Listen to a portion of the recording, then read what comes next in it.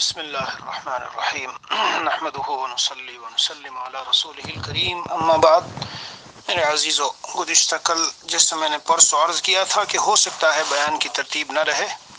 جی ایک سفر کا معاملہ تھا درپیش، تو اس لیے گھر پر نہیں تھے، بہرحال اس لیے۔ دو روز قبل جو مضمون بیان ہوا، اسی کے تعلق سے طبیعت میں ایک دائیا ہے اور چاہتا ہے کہ بیان ضرور کیا جائے کہ اسباب حسن خاتمہ کے اسباب اور ایمان پر خاتمہ ہمیں کیسے میسر ہو کہ ہم دنیا سے بحالت ایمان جائیں۔ تو چند باتیں اپنے بزرگوں سے جو سیکھی، سنی، دیکھی کتابوں میں، وہ آپ حضرات سے عرض کرتا ہوں۔ میرے عزیز و دھیان سے سنو اور ذہن میں رکھو، جیسے میں نے اس دن عرض کیا تھا کہ حسن خاتمہ یعنی ایمان پر خاتمہ، یہ سب سے عظیم ترین ہر مومن کی چاہت ہے۔ اور یہی وہ چیز ہے جس سے تمام اولیاء اللہ مرتے وقت تک ڈرتے رہتے ہیں۔ یہی وہ چیز ہے جس سے تمام اولیاء اللہ مرتے وقت ڈرتے رہتے ہیں۔ ہاں تو اس لیے دھیان سے سنیں، توجہ کے ساتھ سنیں۔ انشاءاللہ تعالی اس کو تفصیل کے ساتھ ابھی میں عرض کروں گا۔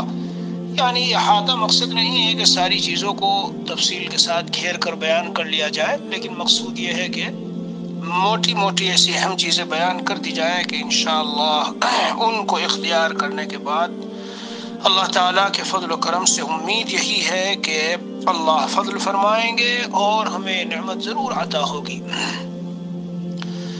تو میرے عزیز و اس دن واقعات سامنے آئے کیسے کس کس حالت میں دنیا سے اللہ والے جاتے ہیں، کیسی خوشی کے ساتھ رخصت ہوتے ہیں، ان کے دل پر اللہ کی ملاقات کس طرح سے چھائی ہوئی ہوتی ہے؟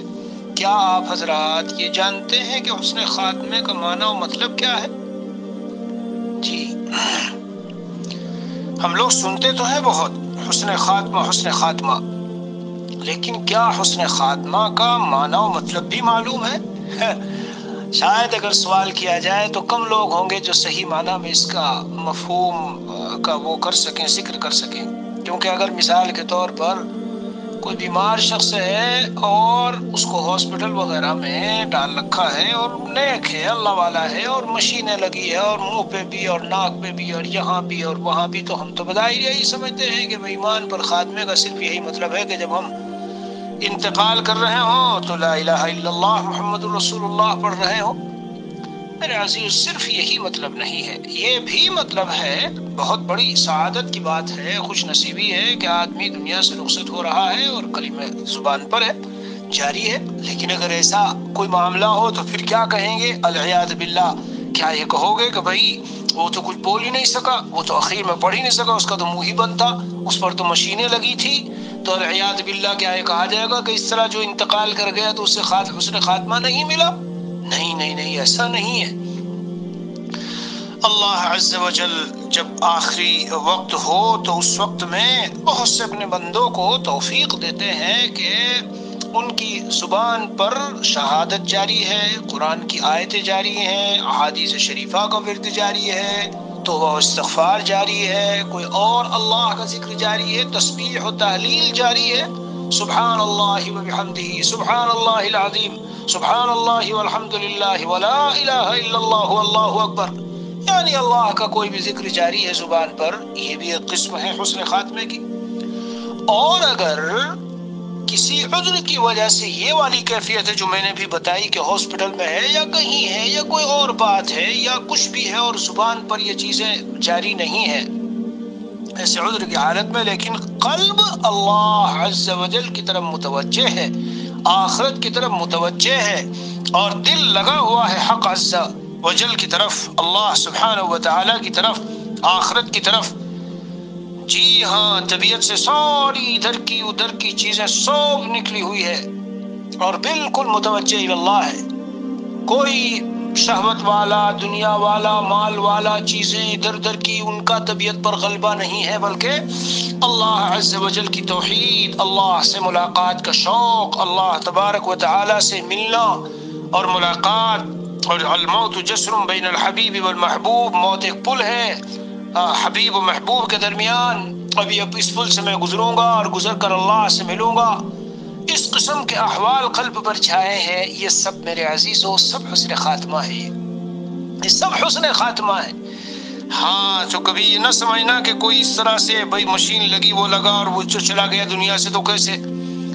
ہاں بے شک اللہ عز و جل اپنے بندوں کو جی یہ توفیق خاص دیتے ہیں اپنے خاص بندوں کو جو دنیا میں اللہ کی یادوں میں رہتے ہیں کہ اس وقت زبان بھی اللہ کی یاد میں اور دل بھی۔ اسی لیے میرے بھائیو، امام غزالی رحمۃ اللہ علیہ نے لکھا ہے، حضرت تھانوی رحمۃ اللہ علیہ نے لکھا ہے، ایک اہم بات بتا رہا ہوں۔ دھیان سے سننا، دھیان سے سننا۔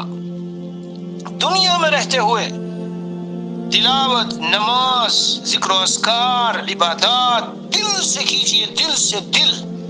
اور دل میں اللہ کی یاد کو بسائیے اصل اصل یاد کا تعلق اور اصل خاتمے کا تعلق قلب ہی سے ہے، دل سے۔ اگر خدا نہ خواستہ دل اس وقت دنیا کے جھمیلوں میں، ادھر ادھر کی چیزوں میں اللہ تعالیٰ کی ذات کے متعلق وساوس میں، شکوک و شبہات میں جی اور آخرت کے بارے میں وساوس و شکوک و شبہات میں گھوم رہا ہو چکر کاٹ رہا ہو۔ دل میں یاد الہی نہ ہو، دنیا میں رہتے ہوئے نماز بھی بھاگم بھاگ اور ہر چیز بھاگم بھاگ اور تلاوت بھی اور بس مال مال، پیسہ، کاروبار، چیزیں، سامان، شہرتیں۔ مطلب خلاصہ ہے کہ غیر حق تعالی، اللہ کا علاوہ۔ وہ تو دل میں بسا تھا لیکن ظاہری طور پر زبان سے کچھ کرتا بھی تھا۔ اسی لیے امام غزالی رحمت اللہ علیہ نے جہاں اس کے اسباب ذکر کیے ہیں سوئے خاتمے کے، میرے عزیزوں تو اس میں اس حدیث شریف کو نقل کیا ہے۔ کون سی؟ وہ جو نفاق عملی والی حدیث ہے، کیونکہ اس میں یہی ہوتا ہے کہ ظاہر کچھ اور اور باطل اندر سے کچھ اور۔ امام غزالی رحمت اللہ علیہ نے جہاں اسباب ذکر کیے ہیں، ان میں ایک سبب تو بدعت کو بتایا ہے، بدعت۔ نماز پڑھ رہا ہے، دین پر چل رہا ہے، بظاہر روزہ رکھ رہا ہے، بظاہر تقوی والا ہے، لیکن بدعت ہے، کسی بدعت میں مبتلا ہے۔ تو کسی بدعت میں اگر مبتلا ہو تو اللہ عز و جل موت کے وقت میں اسے دکھا دیتے ہیں کہ تو گمراہ تھا اور اس پر تھا تو خاتمہ خیر پر خاتمہ اور حسن خاتمہ نہیں ملتا۔ اسی لیے بدعت بہت سنگین جرم ہے۔ بہت خطرناک اپنے مشائق سے، بزرگوں سے، اللہ والوں سے اور صحیح معتمد اور سکھا علماء سے پوچھ کے میرے پیاروں، کرو جو کچھ کرنا ہے۔ دین میں نئی باتوں کی ایجاد بہت سنگین معاملہ ہے۔ جو چیز صحابہ کرام کے زمانے میں نہ ہو، حضور اکرم صلی اللہ علیہ وسلم نے ان کو نہ کیا ہو نہ بتلایا ہو بتا، علماء بتا دیں گے۔ جو معتبر مستند علماء ان سے پوچھو، میں تو عرض کر رہا تھا کہ حضرت امام غزالی رحمۃ اللہ علیہ نے وہ نفاق عملی والی روایت پیش کی اربع من کن فیہ فهو منافق خالص و ان صلى وصام وزعم انه مسلم۔ چار چیزیں جس میں ہو، اگرچہ مسلمان ہونے کا گمان کرے اور روزہ نماز بھی رکھے، تب بھی وہ منافق خالص ہے اور اگر ایک خصلت ہو اس میں تو سمجھو نفاق کی ہے خصلت ہے، جب تک چھوڑ نہ دے جب گفتگو کرے تو جھوٹ بولے، جب وعدہ کرے تو وعدہ خلافی کرے۔ جب امانت رکھی جائے اس کے پاس تو خیانت کرے۔ اور جب جھگڑا کرے تو گالیاں بکے۔ تو یہ چاروں علامتیں منافق کی ذکر کی گئی۔ حضرات صحابہ کرام نفاق سے بہت زیادہ ڈرتے تھے۔ فرما لکھا ہے، حضرت حسن فرماتے ہیں، رضی اللہ عنہ کہ اگر مجھ کو یہ معلوم ہو جائے کہ میں نفاق سے بری اور صاف ہوں، تو یہ بات مجھ کو، دنیا و مافیہ سے اچھی معلوم ہوتی ہے۔ اسی لیے میرے عزیزو، ہمیں بہت اپنے دل کو اندر سے ٹٹولنا چاہیے، غور کرنا چاہیے۔ جتنا جو کچھ ہماری زبان پر اور ظاہر میں ہے، وہ سب دل میں بھی اترا ہوا ہے نہیں؟ بہت مرتبہ میں نے آپ حضرات کی خدمت میں عرض کیا ہے کہ مثلا ہم نماز پڑھتے ہیں تو وہ خوشو و خدو کے ساتھ ہو۔ جو کچھ بولتے ہیں وہ دل کے اندر سے ہو۔ صرف زبان پڑھنا ہو، ظاہر میں، ورنہ حجت اللہ علی العبد ہے۔ بہرحال تو حسن خاتمہ، سمجھ لیجیے اچھی طرح سے۔ موت کے وقت میں اللہ تعالیٰ کی ملاقات، آخرت کے خیالات اور اللہ سے ملنے کا شوق اور اللہ کا وجود، آخرت کا وجود، جنت و جہنم، یہ ساری چیزیں قلب پر مستحدر یہ ایمان پر خاتمہ ہے۔ اگر زبان پر کہیں ادھر ادھر منہ پہ کچھ لگا ہوا بھی ہو، ناک پہ کچھ مشین لگی ہو، تب بھی اس کا وہ نہیں۔ اور اگر موت کے وقت میں دنیا کے جھمیلوں کی وجہ سے الجھن اور مسائل اور وہ دماغ پر قلب پر مسلط ہے پوری طرح سے۔ جی ہاں یا شکوک و شبہات و وساوی ادھر ادھر کے آخرت کے بارے میں، اللہ کی ذات کے بارے میں۔ جی چاہے زبان سے کوئی کلمہ ایسا جاری نہ ہو۔ تب بھی سمجھ لو کہ یہ سب معاملہ گڑبڑ ہو گیا۔ زبان پہ کلمہ جاری ہونے کے متعلق تو بزرگوں نے یہاں تک لکھا ہے کہ چونکہ اس وقت میں تکلیف کی شدت ہوتی ہے، سکرات کا معاملہ ہوتا ہے تو اگر کوئی ایسا کلمہ نکل جائے تو یہ نہ سمجھنا چاہیے کہ کافر ہوا۔ اس لیے کہ عقل کبھی کبھی قائم نہ رہے گی اس وقت میں۔ میں نے لکھا ہے اس کو۔ تو جب عقل قائم اور باقی نہیں رہی تو اس وقت میں مکلف نہیں رہا۔ تو اگر کوئی ایسا کلمہ نکلا بھی ہو تو پھر بھی ہم یہی کہیں گے کہ یہ ہوش و حواس باقی نہ رہنے کی وجہ سے ایسا ہوا ہے، ورنہ یہ بندہ مومن ہے، ایمان والا ہے۔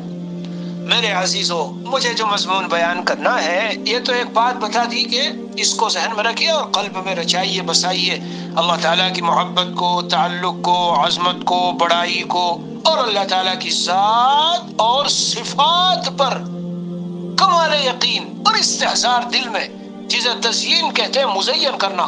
اسی لیے دعاؤں میں اللہ زین الایمان فی قلوبنا، یہ دعا مانگی گئی۔ کیا پیاری پیاری دعائیں حضرت نبی اکرم صلی اللہ علیہ وسلم ہمیں سکھا کے گئے۔ کاش ہم قدر کریں۔ جی ہاں صحابہ کرام کے بارے میں یہ ان کے دلوں میں ایمان مزین تھا، مزین۔ تو آؤ بھائیو، آؤ ہم ذرا کچھ ایسی باتیں کر لیں۔ آؤ کچھ ایسی باتیں کر لیں کہ انشاءاللہ انشاءاللہ انشاءاللہ انشاءاللہ۔ بفضل اللہ تعالی بعون اللہ عز و جل و بتوفیقہ سبحانہ و تعالی ہمیں حسن خاتمہ ملے گا انشاءاللہ۔ میرے پیارو، سنو غور سے، سنو غور سے۔ نمبر ایک، جو ہم مومن ہیں، ایمان ہے، اس پر دل سے شکر ادا کیا کرو اللہ تعالیٰ کا۔ اے اللہ، اے میرے خالق و مالک اللہ، اگر آپ چاہتے ہیں تو مجھے کوئی ہندو سکھ عیسائی، یہودی، نصرانی، کوئی دہریہ کمیونسٹ فلاں فلاں فلاں۔ اے اللہ، اگر آپ چاہتے، مجھے کسی بھی گھر میں پیدا کر سکتے تھے۔ میری روح کو آپ نے ایمان والے گھر کے اندر، جسم دے کر کے ایمان والے گھر میں مجھے دنیا میں جی یہ بھیجا ہے۔ میرے مولا ہے تو صرف آپ کا۔ فضل ہے میرے اوپر۔ اے اللہ، مجھے اس پہ کوئی ناز نہیں ہے۔ مجھے اکڑ نہیں ہے، غرور نہیں ہے۔ یہ میرا کمال نہیں ہے، میرے مولا، یہ تو آپ نے مجھے بلا استحقاق دے دیا اور بغیر مانگے اور بغیر سوال کے دے دیا۔ اے اللہ، یہ آپ کی کتنی بڑی نعمت ہے۔ اگر میں اس نعمت کی شکر کی ادائیگی کے طور پر پوری زندگی سجدے میں پڑا رہوں اور میرے بدن کا رواں رواں جسم کا جی خون کا قطرہ قطرہ اور گوشت کا ٹکڑا ٹکڑا اور بدن کے ہر ہر بال کو سب کو ان کو جسم ملے اور قیامت تک میرے مولا، میں ایمان کا جو آپ نے مجھے دیا شکر ادا کروں، کیوں بلا استحقاق بغیر کسی سوال کے اتنی عظیم نعمت دے دی ہے میرے مولا کہ جس کی بنیاد پر ابد الآباد اور ہمیشہ ہمیشہ کی جنت ملے گی۔ اللہ اکبر۔ یہی میرے پیارو حقیقت شکر یہی ہے۔ جانتے ہو شکر کی حقیقت یہ تشکر تکبر کی ضد ہے۔ تکبر میں اپنا استحقاق ہوتا ہے۔ وہ شیطان نے کہا تھا، اللہ عز و جل سے، میں تو مستحق ہوں کہ مجھے سجدہ کیا جائے، کیونکہ میں آگ سے پیدا ہوا اور آگ اوپر جاتی ہے۔ اور آدم تو مستحق ہے کہ وہ ان کو وہ سجدہ کریں کیونکہ وہ مٹی سے بنے، مٹی نہیں چاہتی ہے۔ تو اپنا استحقاق جیتا تھا۔ جیسے دنیا میں بہت سارے ہیں۔ کوئی خاندان کی بڑائی کے غرور میں ہے، کوئی مال کی بڑائی کے غرور میں ہے، کوئی عہدے منصب کی بڑائی کے غرور میں ہے، اور وہ سارے سارے غرور سب خاک ہے، خاک۔ سب خاک ہے۔ سمجھتے میں ایسا ہوں، میری شان یہ ہے اور میں ایسا ہوں، میرے سامنے نہیں اللہ عز و جل سے یہ میں پہلا نمبر بتاتا ہوں ایمان پر خاتمے کا۔ نعمت ایمان جو ملی ہے، اس پر دل سے اللہ عز و جل کا شکر ادا کرو جو میں نے انداز بتایا۔ کہ اللہ آپ نے محض بلا استحقاق مجھے نعمت دی۔ میں نے آپ کو کوئی اس کی قیمت نہیں دی، کوئی پیسہ نہیں دیا، کوئی اگریمنٹ نہیں کیا، کوئی اس کا معاوضہ نہیں دیا، سوال بھی نہیں کیا میں نے تو وہاں آپ نے اپنی رحمت سے مجھے دی۔ میرے پیارو جب دل میں یہ بات ہوتی ہے تو بندہ ڈر ڈر کے زندگی گزارتا ہے۔ اور پھر اسے یہ خطرہ رہتا ہے کہ کہیں یہ نعمت چھن نہ جائے۔ اس لیے قدم قدم پر اللہ کی فرم برداری کرتا ہے، نافرمانی سے بچتا ہے۔ کیونکہ جب کسی چیز کی ناقدری ہوتی ہے تو اللہ تعالیٰ چھین لیتے ہیں۔ تو ایمان کی ناقدری میرے عزیزوں، ایمان کی ناقدری یہ ہے۔ ہاں حضور اقدس صلی اللہ علیہ وسلم کی امت میں ہونے کی ناقدری یہ ہے کہ ہم جو احکامات ہمیں دیے گئے جو چیزیں ہمیں ملی ہے دین اسلام میں ان کو، ٹھکرا دے ایک طرف اور عمل نہ کرے، ان کو گھروں سے نکال دے اور مغربی تہذیب کو لے لے اور ان چیزوں کو زندگی میں لے لے۔ صحیح ایمان کی اور اللہ کی بندگی کی صحیح قدر یہ ہے۔ جی کہ زبان سے بھی دل بھی لبریز ہو اور زبان سے بھی جاری ہو اور آزاء و آزائے بدن، اس سے بھی اللہ تعالیٰ کا شکر ظاہر ہو رہا ہوں۔ ہے میرے مولا، میں کیسے آپ کے خلاف بغاوت کروں اور زناکاریوں میں اور سودیوں میں اور فلاں فلاں میں لگوں جبکہ آپ نے مجھے اتنی بڑی نعمت سے نوازا؟ وغیرہ وغیرہ۔ تو میرے بھائیو، سب سے پہلا نمبر کیا ہے؟ شکر۔ سنو، اس پر عرض کرتا ہوں، حکیم الامت مجدد ملت تھانوی رحمۃ اللہ علیہ لکھتے ہیں اور ہمارے حضرت والا نے بیان فرمایا کہ قرآن میں یوں اعلان فرمایا حق سبحانہ و تعالی نے، لئن شکرتم لازیدنکم، اگر تم شکر ادا کرو گے، میں تم کو نعمت میں اضافہ کروں گا۔ تو کیا سمجھے بھائیو، جو ایمان جس درجے کا ہم کو ملا ہے جی اس میں روزانہ روزانہ روزانہ اضافہ ہوگا اضافہ ہوگا اضافہ ہوگا۔ زیادتی زیادتی زیادتی۔ ایمان او ایمان انکریسنگ انکریسنگ انکریسنگ تو جب ہر دن اضافہ ہوگا اضافہ ہوگا اضافہ ہوگا اور ہم اللہ کا شکر ادا کرتے رہیں گے، تو جس دن دنیا سے جائیں گے میرے پیاروں اضافے والے ایمان پر جائیں گے، کم ایمان پر نہیں جائیں گے۔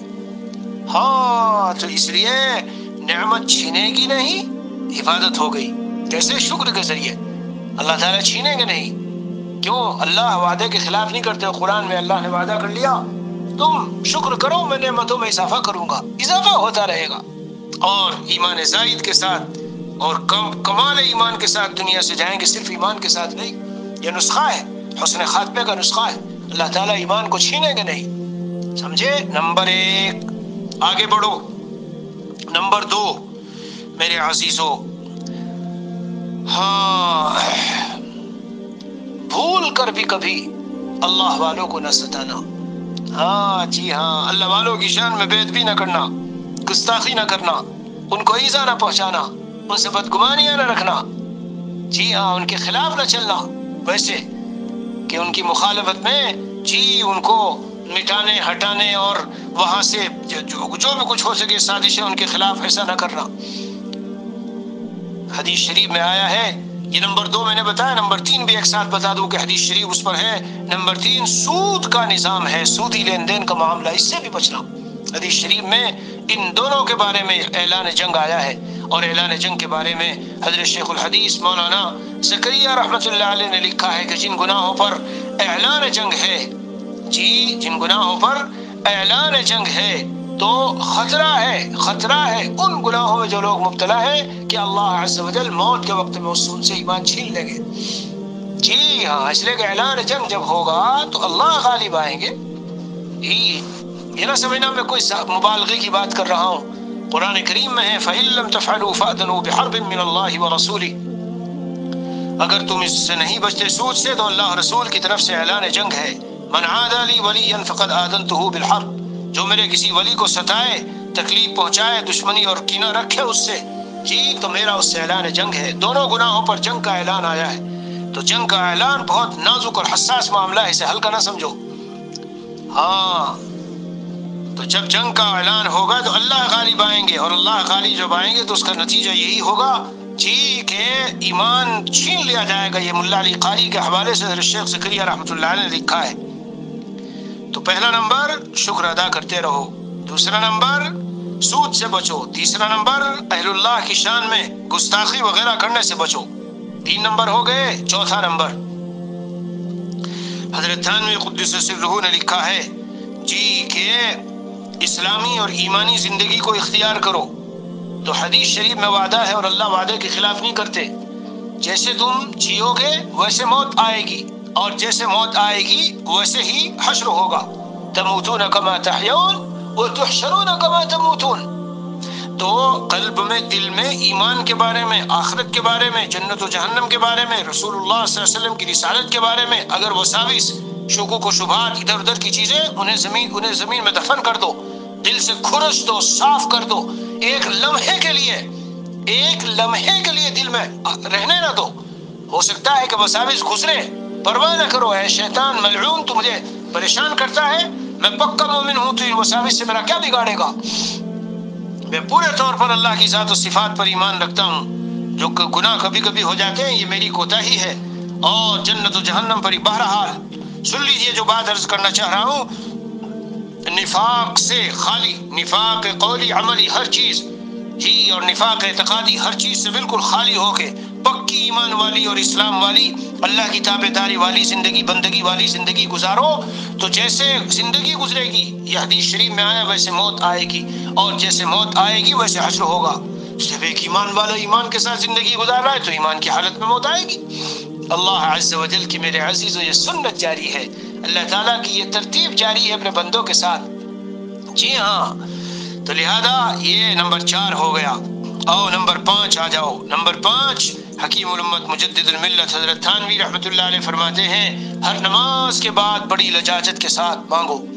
ہر نماز بعد نہیں مانگ سکتے، کم از کم چوبیس گھنٹے میں ایک مرتبہ تو مانگو۔ رات میں مانگ لو، کسی بھی وقت تنہائی میں اپنے مانگ لو۔ یہی مانگو کیا؟ ربنا لا تزغ قلوبنا بعد اذ هديتنا وهب لنا من لدنك رحمه انك انت الوهاب اے اللہ، آپ نے ہم کو ہدایت دی، ایمان کی۔ ہمارے دلوں میں کجی پیدا نہ کرنا۔ ہم سے ایمان کی نعمت چھیننا نہیں۔ راہ حق اور ہدایت والی جو نعمت آپ نے دی ہے، میرے رب کریم ہم سے چھیننا نہیں۔ ربنا لا تزغ قلوبنا بعد اذ هديتنا وهب لنا من لدنك رحمه انك انت الوهاب۔ فاطر السماوات والارض، انت ولي في الدنيا والاخره توفني مسلما والحقني بالصالحين اسی کی دعا حدیث شریف میں آئی اللهم یا ولی الاسلام و واهله مسکنی بالاسلام حتی القاک بھی اور اپنے بچوں کو شامل کر کے مانگو۔ جی ہاں اکثر و بیشتر اپنے گھر والوں کو، بچوں کو، دوست احباب کو شامل کر کے مانگو۔ اللہم یا ولی الاسلام والی مسکنا بالاسلام حتی القاک بھی اللہ ہمیں چپکائے رکھنا، چمٹائے رکھنا، جمائے رکھنا اسلام پر جب تک ہماری آپ سے ملاقات نہ ہو۔ اس وقت تک اللہ، ہم سے ایمان چھیننا نہیں۔ اللہم یا ولی الاسلام۔ اوہ حضرت یوسف علیہ السلام ہے بڑے جو جی العظم پیغمبروں میں ہے دعا مانگ رہے ہیں، فاطر السماوات والارض، انت ولی فی الدنیا والآخرہ۔ زمین و آسمانوں کو پیدا کرنے والے آپ ہی میرے ولی ہے دنیا آخرت میں، توفنی مسلمن والحقنی بالصالحین، مجھے اسلام کی حالت میں وفات دیجیے اور صالحین کے ساتھ ملا دیجیے۔ تو حضرت تھانوی رحمت اللہ علیہ فرماتے ہیں، بڑی لجاجت کے ساتھ مانگو۔ جی بڑی لجاجت کے ساتھ مانگو اور خوب مانگو۔ مانگتے رہو، مرتدم تک مانگتے رہو۔ اللہ تعالیٰ کا وعدہ ہے کہ میں جی دعا رد نہیں کرتا۔ جب ہم مانگتے رہیں گے لجاجت سے، انشاءاللہ ٹھکرائے نہیں جائیں گے۔ ہاں ٹھکرائے نہیں جائیں گے۔ جو ترتیب مانگنے کی حمد ہو، پھر درود ہو اور بیچ میں دعائیں ہو حمد ہو، اللہ کی پھر درود شریف ہو اور بیچ میں دعائیں ہو اور پھر اخیر میں درود شریف ہو اور بالکل اخیر میں حمد ہو۔ آگے بڑھو۔ نمبر آپ گنتے رہنا۔ چوتھا، پانچواں نمبر جو بھی ہے۔ نمبر پانچ پہ آ جاؤ، اذان کے بعد کی دعا کو پابندی سے پڑھو۔ اللہم رب هذه الدعوة التامة والصلاة القائمة آت محمد الوسیلة والفضیلة وبعثه مقام محمود الذي وعدته انك لا تخلف الميعاد اس کو پڑھنے والے کو شفاعت میسر ہوگی اور شفاعت ایمان والے کو میسر ہوتی ہے۔ معلوم ہے جو اس کو پڑھتا رہے گا، تو اللہ عز و جل اس کا خاتمہ ایمان پر فرمائیں گے۔ جی ہاں اس سے بھی معلوم ہوا کہ ایمان پر خاتمے کے لیے چیز ہے۔ آگے بڑھو، نمبر چھ۔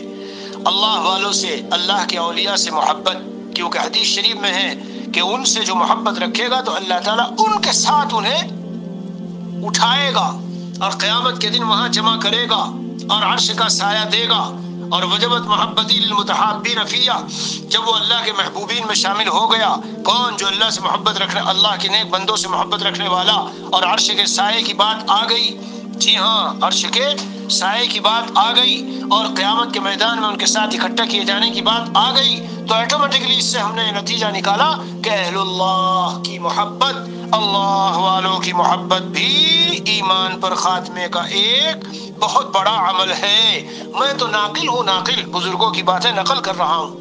تو اللہ والوں سے محبت رکھیے۔ جی ہاں جس کو جس کے ساتھ محبت ہوگی، وہاں قیامت میں ویسا ہی معاملہ بھی ہوگا، میں نے حدیث سنا دی۔ آگے نمبر چھٹا، نمبر سات، جو بھی ہو اس کو سن لیجیے۔ حضرت مفتی محمود الاسر گنگوہی رحمت اللہ علیہ سعود افریقہ میں تشریف لائے ہوئے تھے۔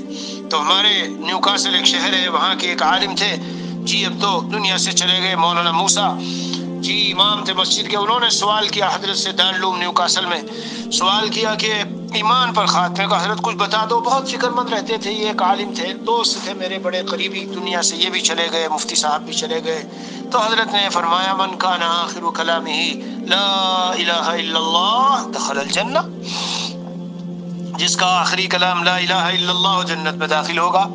میرے عزیز اس حدیث شریف سے حسن خاتمے کا نسخہ کیسے نکلا؟ اس طرح نکلا کہ کثرت سے پڑھتے رہو، لا الہ الا اللہ۔ تو جب ہم پڑھتے رہیں گے، پڑھتے رہیں گے، خالی وقت زبان پر لا الہ الا اللہ، لا الہ الا اللہ، لا الہ الا اللہ پڑھ رہے ہیں، چلتے پھرتے، اٹھتے بیٹھتے، تو انہی گھڑیوں میں، انہی لمحات میں، انہی ساعات میں، انہی اوقات میں سے کوئی وقت تو ہوگا جب ہمارا خاتمہ ہوگا؟ تو اب ایمان پر خاتمہ ہو گیا۔ اسی لیے حکیم الامت تھانوی رحمۃ اللہ علیہ نے تسبیح یہ تحلیل و استغفار یعنی لا الہ الا اللہ، اور استغفر اللہ کثرت سے پڑھنے کو، ایمان پر خاتمے کے لیے ایک ذریعہ قرار دیا۔ تشریح میں نے کر دیا آپ کے سامنے۔ اور حضرت تھانوی قدس سلوہ نے بھی لکھا، عصر کی نماز سے پہلے کہ چار نفل۔ بڑے بڑے، بڑی زبردست فضیلت ہے۔ حضور پاک صلی اللہ علیہ وسلم نے یعنی چار سنت کہو ان کو، حضور پاک صلی اللہ علیہ وسلم نے جی دعا فرمائی رحم اللہ عمران صلی قبل العصر اربعن میں ایک مرتبہ حرم شریف میں بیٹھا ہوا تلاوت کر رہا تھا، تو عصر کی اذان ہو گئی، میں تلاوت میں لگا رہا۔ پیچھے سے ایک عرب نے میرے پشت پر ہاتھ لگایا اور کہا، سنت پڑھو۔ اور پھر یہی حدیث سنائی رحم اللہ عمران صلی قبل العصر اربعن میں نے کوئی جواب ان کو نہیں دیا، کیونکہ جواب خامخواہ نہیں دینا چاہیے۔ میں نے کہا، تم نے صحیح ٹوکا۔ قرآن میں نے رکھ کر اور پھر وہ چار سنتیں پڑھی۔ اور اس نے جو حدیث شریف سنائی، بہت زبردست دعا ہے۔ اے اللہ، اس شخص پر رحم فرما دیجیے جو عصر سے پہلے چار سنت پڑھے۔ تو رحم کافروں پہ نہیں ہے، رحم تو اللہ کا خصوصی مومنوں پر ہوگا۔ جی وہ ہوں گے مرحومین آخرت میں اس سے بھی پتہ چلا جی کہ ایمان پر خاتمے کے لیے یہ بھی حضرت تھانوی نے لکھا ہے۔ اسی طرح میرے عزیزوں ایک اور چیز یاد رکھو۔ جی موالات اہل کفر۔ اہل کفر کی دلی دوستی، سنیے غور سے غور سے سنیے، چند منٹ باقی ہیں۔ موالات اہل کفر اہل کفر کی جو کافر ہیں، ان کی دلی دوستی۔ اور جو کافر ہیں، یہود و نصارہ ہیں، ان کی رسومات، ان کے طور طریقے، ان کی تہذیب و تمدن۔ اور ان کی تعریف، ان کی مدحسنہ اور ان کی بے دینی کے سلسلے میں تائید۔ یہ ساری چیزیں ملا کر جو میں نے ابھی بتائی موالات دلی دوستی کو کہتے ہیں۔ دلی دوستی سے خطرہ ہے کہ ان کے مذہب سے دل میں رغبت پیدا ہو اور رغبت پیدا ہو۔ ولا ترکنوا الى الذين ظلموا۔ ظالموں کی طرف مائل نہ ہونا فتمسکم النار، نہیں تو آگ چھو لے گی۔ اور جب زندگی ان کے طور، طریق اور رسومات میں گزرے گی تو من تشبہ بقوم فهو منهم جو جس قوم سے مشابہت رکھے گا، تو وہ انہی میں سے شمار ہوگا۔ لہذا خطرہ ہے کہ انہی کے، انہی کی طرح موت آ جائے اور انہی کی طرح حشر ہو جائے۔ ہاں اس لیے ان چیزوں سے بھی بہت بچنا چاہیے۔ نہ ان کی اس طرح کی تائید ہو، نہ ان کے ساتھ مشابہت ہو، نہ موالات اہل کفر ہو۔ جی اور آخری نمبر عرض کرتا ہوں، آخری نمبر ہے کہ کسی کی بھی کبھی بھول کے بھی کبھی تحقیر نہ کرنا۔ کافر کی محالن اور مومن کی حالن۔ نہ حالن نہ مالن مومن کی اور کافر کی مالن نہیں یعنی کیا مطلب ہے؟ جو یہ جو میں نے الفاظ بولے کہ ہو سکتا ہے اس کافر کو آدمی اللہ تعالیٰ ایمان دے دے اور یہ مجھ سے ہو اچھا ہو جائے۔ اگرچہ اس وقت بدعمالیوں میں ہے، یہ ایمان والا اگرچہ اس وقت بدعمالیوں میں ہے، تو ہو سکتا ہے کہ اللہ تعالیٰ اس کو بہت اچھا بنا دے اور مجھے گرا دے۔ اس لیے امام غزالی نے بھی لکھا ہے، اور جی کہ تکبر اختیار نہ کرنا۔ ورنہ تکبر اور بڑائی اگر آئی اور تحقیر کسی کی آئی اور اس کو اس کو کمتری یہ سر یہ چیزیں اصل میں کب آتی ہے؟ جب دل کے اندر یہ احساس نہ رہے کہ یہ خالص اللہ کی عطا ہے، تب یہ چیز پیدا ہوتی ہے۔ حقیر میرے عزیزوں، زندگی میں آخری سانس تک کسی کو حقیر نہ سمجھنا۔ بہت نازک مرحلہ ہے یہ۔ ہاں دنیا میں اونچ نیچ ہوتی رہی، نمازیں بھی، حج بھی، عمرے بھی، یہ بھی، وہ بھی وہ بھی۔ لیکن کوئی ایسا عمل تھا جیسے وہ ایک کے بارے میں آتا ہے کہ کہ نصارہ کے یہاں غسل جنابت نہیں، اسلام میں غسل جنابت ہے تو پتہ چلا کہ ان کی قبر کو وہاں بھیج دیا گیا، قبر سے اور ان کو وہاں بھیج دیا گیا۔ اور منہ قبلے کی طرف سے گنگو ہی تو فرماتے تھے، علماء اور اکابر کی شان میں جو گستاخی کرتا ہے، اہل اللہ کی شان میں جا کے دیکھ لو، ان کی قبر کھول کے ان کا چہرہ قبلے سے پھرا دیا گیا ہوگا۔ پھرا دیا جاتا ہے ہاں۔ یہ سب چیزیں ہیں، ان کو ہم ذہن میں رکھیں۔ اور بھائی، سب سے بڑی بات یہی ہے کہ لجاجت کے ساتھ اللہ سے مانگا کرو۔ انشاء اللہ توکلا علی رحمت اللہ وثقتا بفضل اللہ عز وجل اللہ تعالیٰ کی رحمت پر بھروسہ اور اللہ تعالیٰ کے فضل پر اعتماد کر کے میں کہتا ہوں، ان ظاہری اسباب کو اختیار کرنے کے بعد انشاءاللہ توفیق الہی فضل خدا بندی سے جس نے ہمیں بلا استحقاق ماں کے پیٹ سے ایمان دے کے نکالا، دنیا سے ہم انشاءاللہ جائیں گے بھی ایمان کے ساتھ۔ جی ہاں لجاجت کے ساتھ مانگا کرو، کسی کی تحقیر نہ کرو، اللہ کا خوب شکر ادا کیا کرو، اور دل میں ہر وقت لرز، لرزا رہا کرو، ڈرتے رہا کرو کہ الہی تو نے نعمت دی، ہم سے قدر نہیں ہو رہی، معاف کر دینا۔ ہاں استغفار کرتے رہا کرے اس پر۔ اسی لیے حضرت نے فرمایا، تحلیل و استغفار کی کثرت۔ میرے بھائیوں، جب تک قبر کے اندر ایمان سلامتی سے نہیں لے گئے، تو یہ ساری تقریریں، بیانات اور لکھائی، پڑھائی اور تصنیف اور تعریف اور رسالے اور یہ سب ایسا ہی ہے۔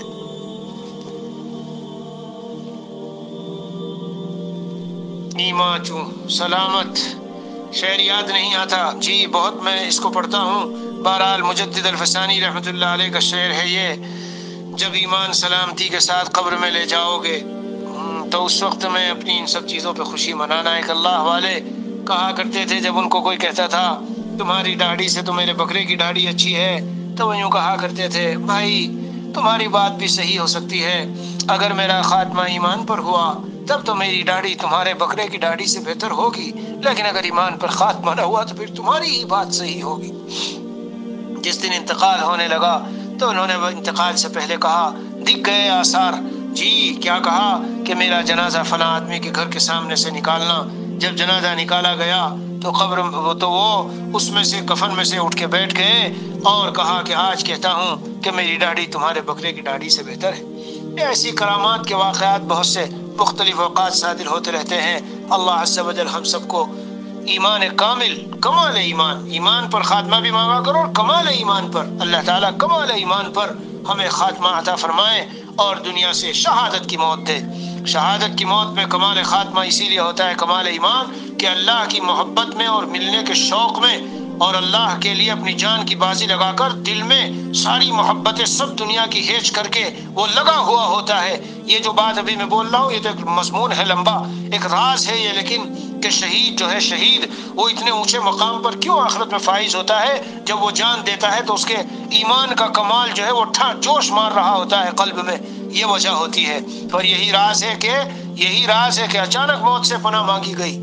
کیوں نہ معلوم جب اچانک موت آوے؟ دل کن خیالات میں، کن غیر اللہ میں کس طرح بری طرح الجھا ہوا ہو اور اچانک سے موت آ جائے؟ پیارو ہاں دل صرف ایک اللہ کی یاد کی جگہ ہے، اس میں مولا ہی کی یاد رچی بسی رہنی چاہیے۔ چاہے ہم دنیا کے مشغلوں میں بھی رہیں۔ ہاں چاہے دنیا کے مشغلوں میں بھی رہیں۔ اللہ عز و جل اپنی رحمت سے ہمیں ایسی حیات طیبہ دنیاویہ یا اخروی عطا فرمائے۔ وصلی اللہ علیہ نبی الکریم وعلى آلہ واصحابہ اجمعین والحمد للہ رب العالمین۔